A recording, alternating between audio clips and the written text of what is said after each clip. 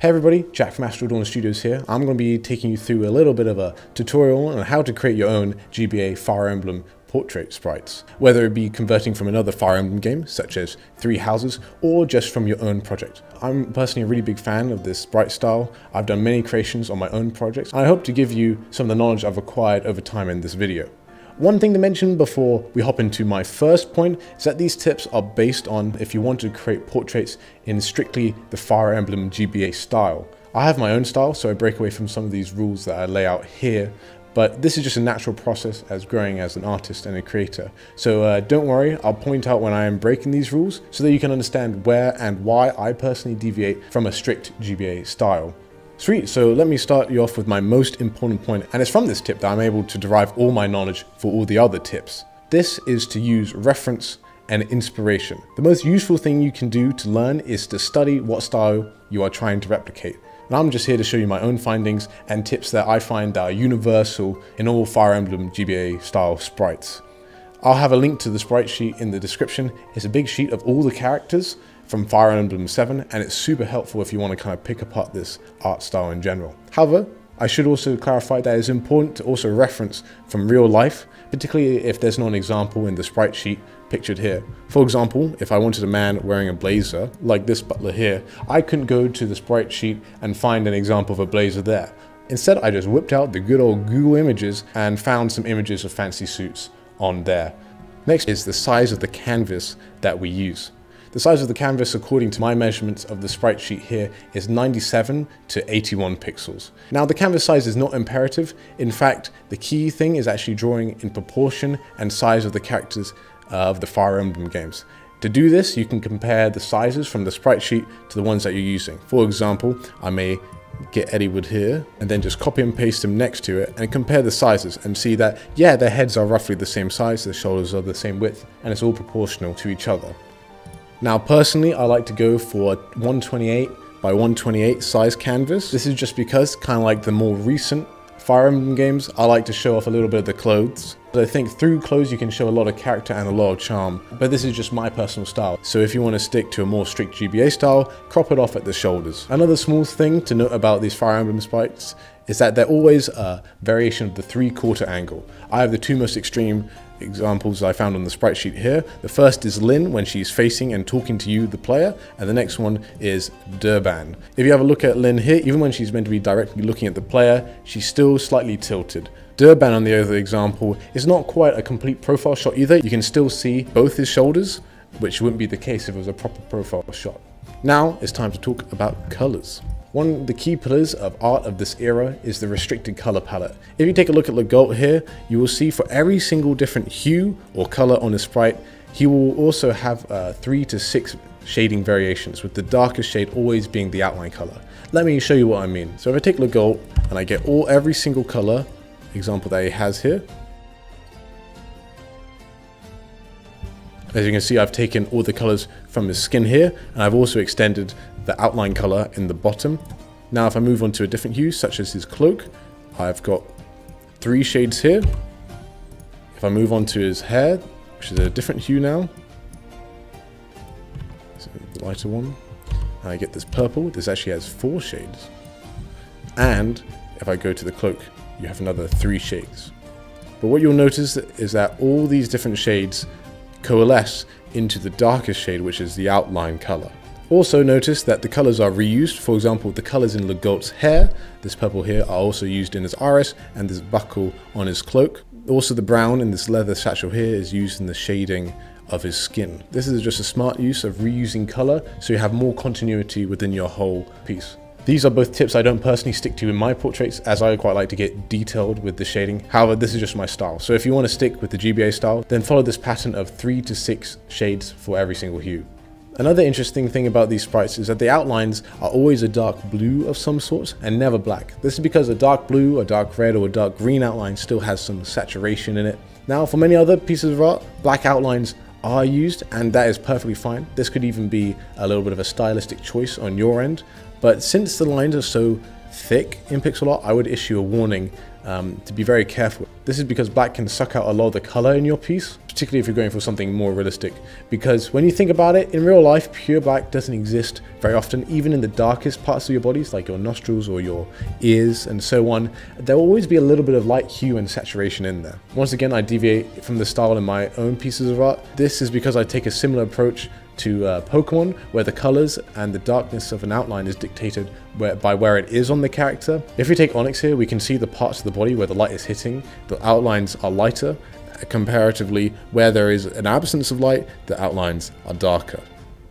Now on to one of my bigger points, and this applies to a lot of pixel art in general, and this is the mindset that every single pixel matters. I have three examples of this. The first one is using general design principles. For example, if we take a look at Athos here, we can see how complex his hair and beard are. However, you'll notice sometimes that the lines that indicate strands of hair aren't fully connected. This is because part of his beard has more light on it.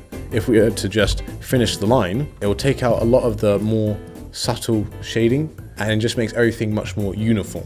This strand of hair is also really interesting since it's actually taking advantage of an optical illusion where our eyes just fill in the gaps and assume that a line is there when in fact it is not. This is called illusory contours and uh, I had to look that up on Wikipedia so there's a little bit of a fact of the day for you. This point is really important for things like hair since you don't have enough space just to draw loads of lines with strands of hair instead you have to allude to them using subtle shading so then your brain can fill in the gaps. This can also be seen in my work here when you have a look at this lady's hair, you can see that the lines don't fully connect. This leads me on to my second example, is that you should use your lines to create shape.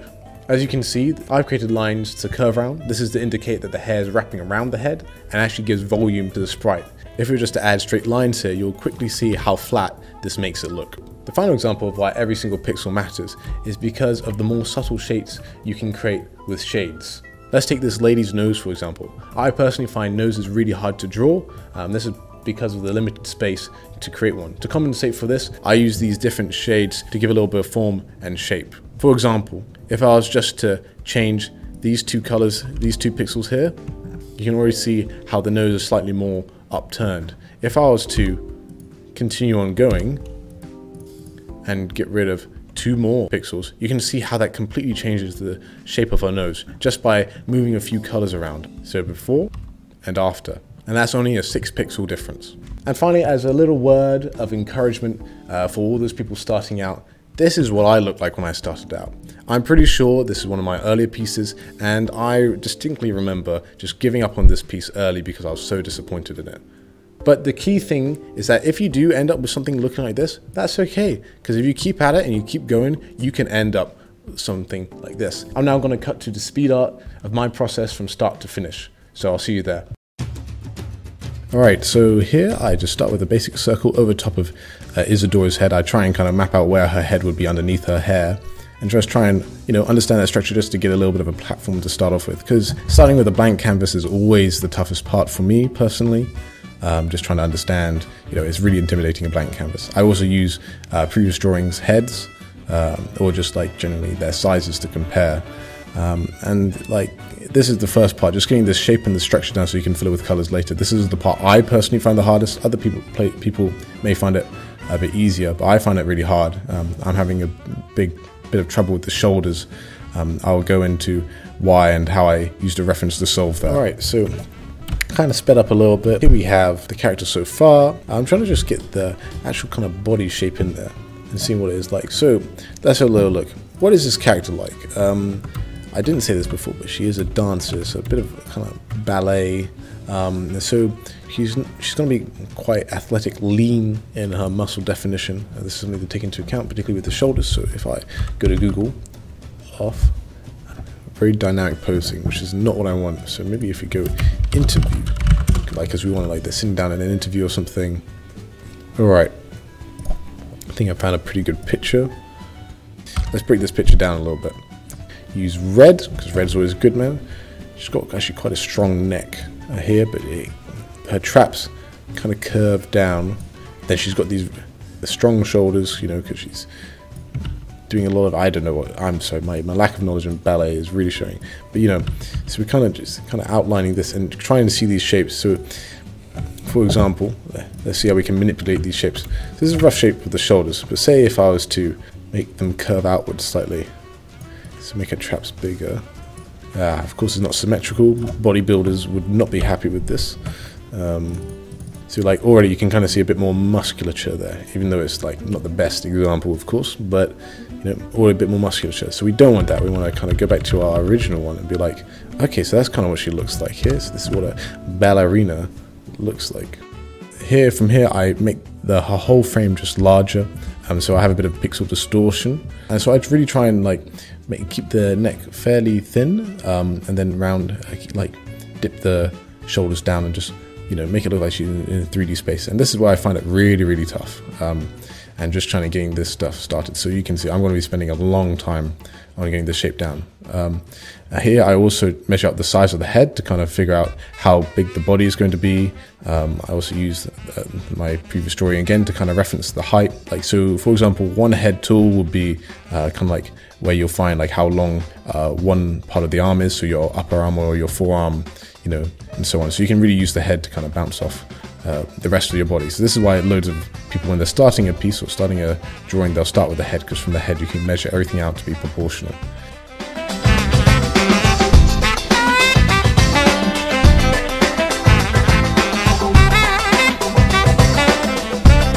Trying to get breasts in there, I just draw circles. Um, it's a bit tough you know, I just can't draw them very well. Um, but this is just where you have to keep on practicing and try, try again. Same thing with the hair here. I kind of put a little bit of a print of where uh, the parting of her hair is and then draw out from that. So that's where the strands of hair will come from.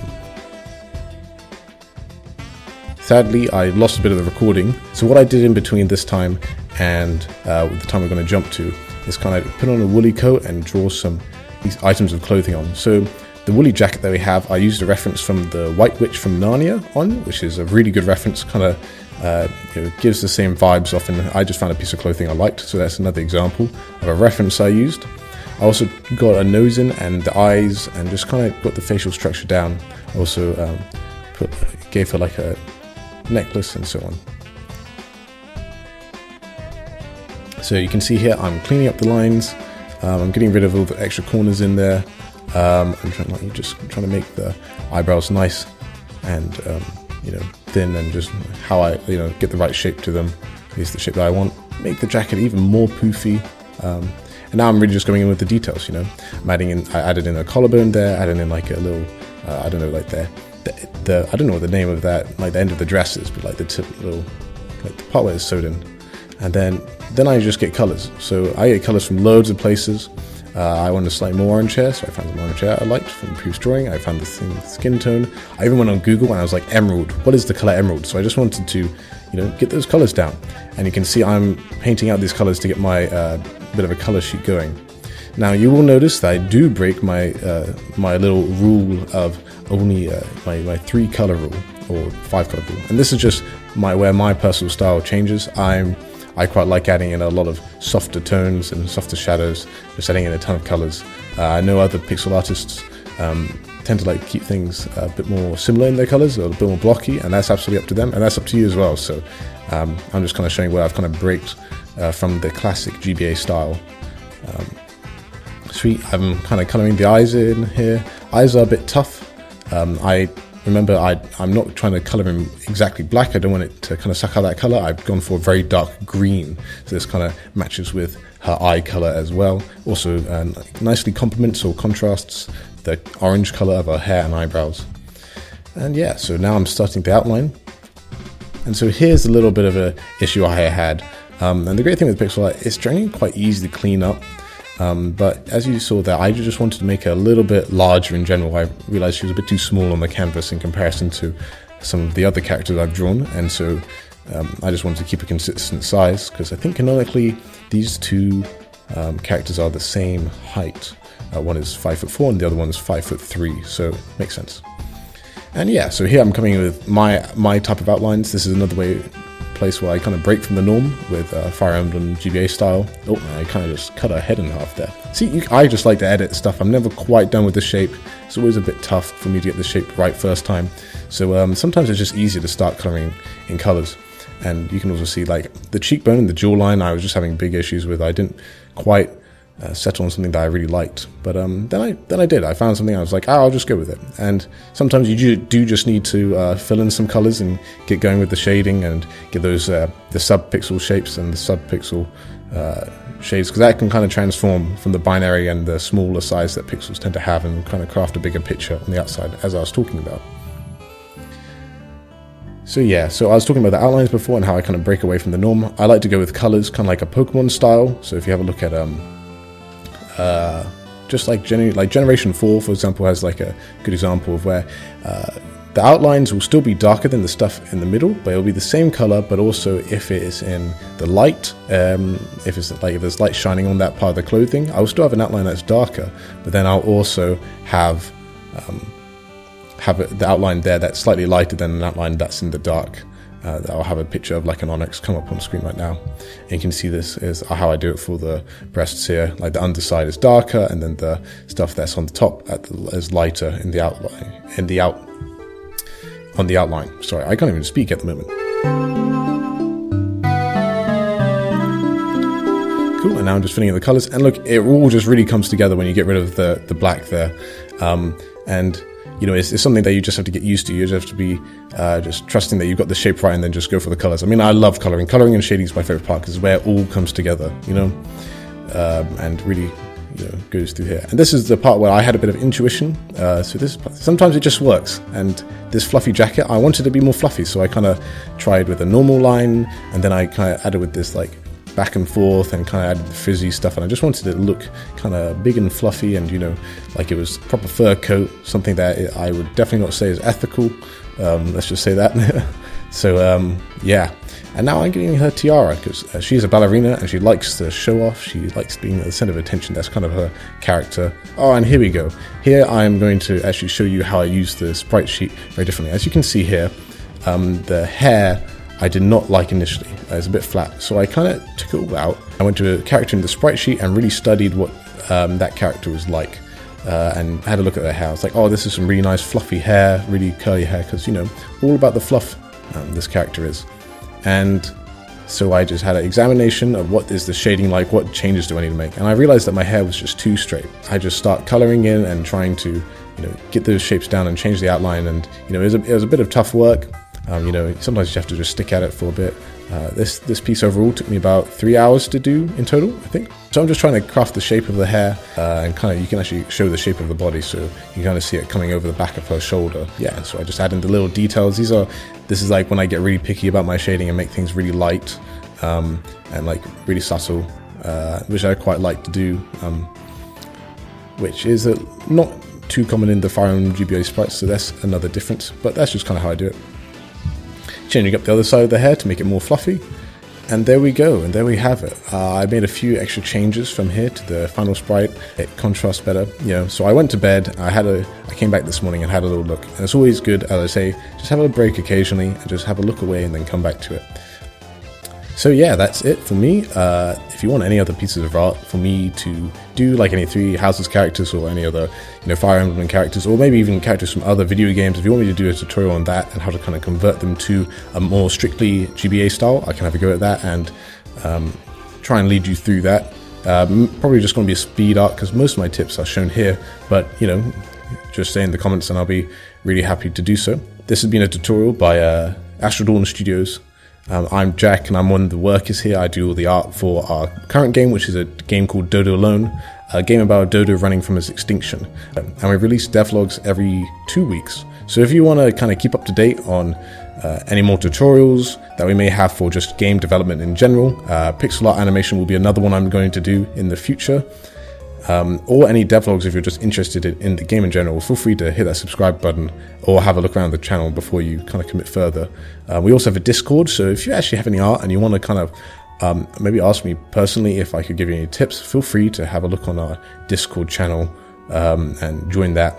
So thank you so much for watching. Uh, it's been a real pleasure actually making this. I haven't done any dialogue sprites in a while. I've been drawing dodos for the last uh, few months. So coming back to uh, an- another human character was quite fun, and just being able to break it down, something that I've been meaning to do for a while, uh, but I didn't get quite around to it until now. So thank you so much for watching, and I'll see you guys next time. Ciao.